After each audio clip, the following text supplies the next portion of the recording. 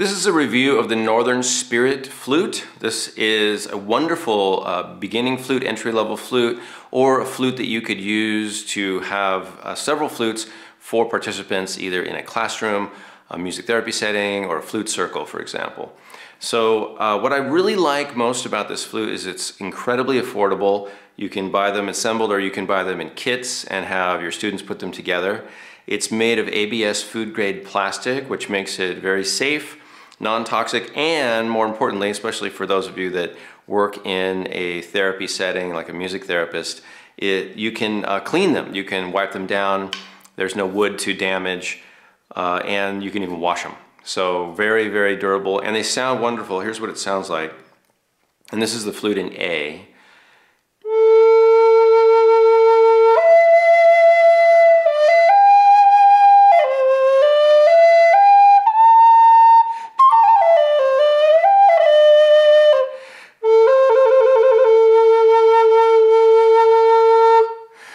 One of the things I love about this is that it's very hard to overblow. Those of you that play recorder and Native American style flutes, you know that if you blow a little bit too hard, a lot of the time the note will jump up to another octave or some other unexpected note. And generally that's kind of an undesirable effect. Not always, but you don't always want that effect, especially for beginners.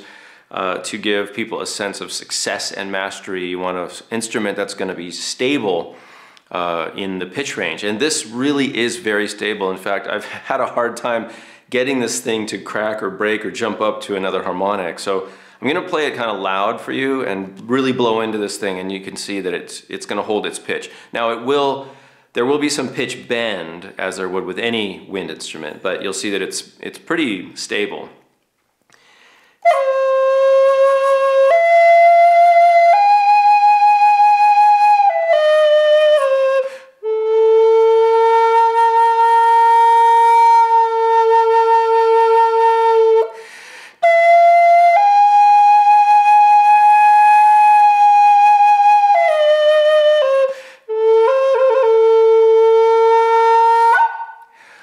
Right, so I'm just blowing pretty hard into this flute and like I said, it does bend pitch, but it's, it's holding that range, which is awesome. Really nice feature. And we're gonna have these at Flute Harvest. If you wanna find out more about this West Coast uh, flute school event, you can go to fluteharvest.com. For more about the native uh, Northern Spirit flute, go to northernspiritflutes.net and enjoy playing your Native American style flute. I'm Kalani, thanks for watching.